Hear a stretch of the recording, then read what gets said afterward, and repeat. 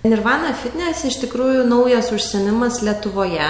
Tai yra užsieniečių mokslininkų sukurtas metodas, kuriame sujungiame jogą, pilates, meditaciją ir svarbiausia kvepavimas. Užsiemimų metu yra atliekami judesiai, bet pagrindas yra skiriamas kvepavimui. Šiais laikais žmonės kvepuoja per greitai. Dėl to metodikos kuriejai teigia, kad norima kvepavimą palėtinti, kad gyvenimas truputėlį būtų lėtesnis. Tai užsiemimų metu yra atliekami judesiai, o judesių metu yra akcentuojamas kvepavimas. Paprastai užsiemime būna 7-8 pratimai. Tai pirmų pratimų metu būna kvepavimas 4 sekundės įkvėpimas, 4 sekundės iškvėpimas, tada 4 sekundės įkvėpimas, 8 sekundės iškvėpimas ir paskutiniai pratimai atliekami, kada akcentuojamas kvepavimas, kai yra 4 sekundės įkvėpimas ir 12 sekundžių iškvėpimas. Visą kvepavimo ritmą duoda muzika. Jis yra rami, bet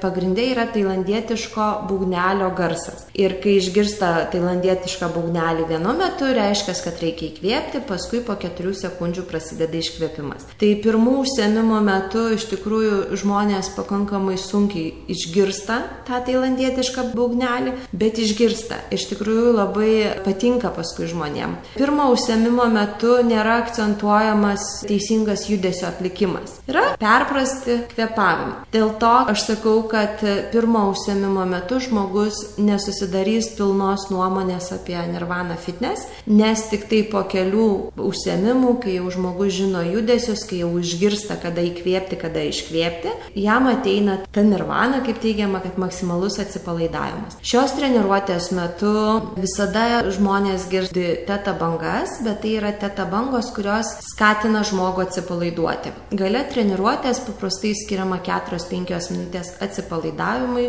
girdi žmonės jūros bangas, girdi kitą muziką, kartais atsipalaidavimą kvėpavimo metu žmogus užmiega. Tai reiškia, kad sulėtino savo kvėpavimą.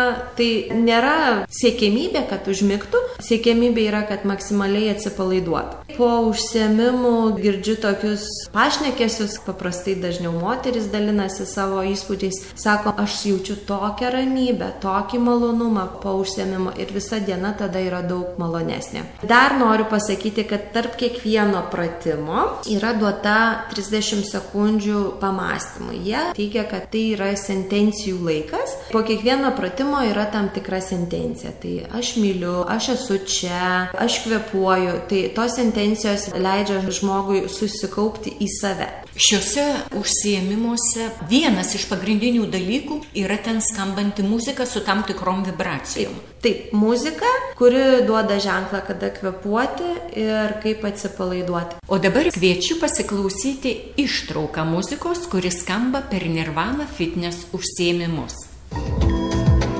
Slow play.